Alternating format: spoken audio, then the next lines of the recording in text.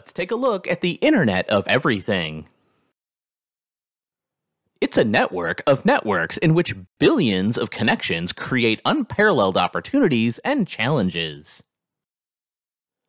Although IoE refers to all the connections that would be made, the Internet of Things, IoT, refers to the physical objects that are connected to the Internet and therefore to all other physical objects.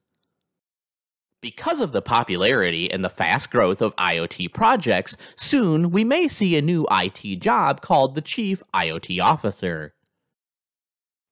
Consumers and businesses will save money by preserving energy when they control their room temperatures on site or remotely through smart devices, while companies will save time and money on labor due to automation. In general, the Internet of Everything could help solve many 21st century problems such as hunger, water pollution, adverse climate change, and increasing energy costs.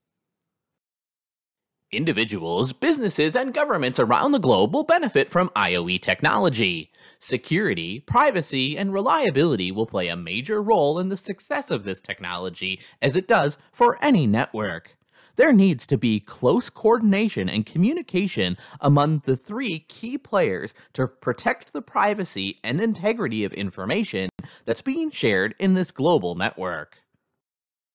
The Internet of Me refers to a subset and personalized internet that gathers and processes personalized information for a given user from the entire internet, including the IoT devices.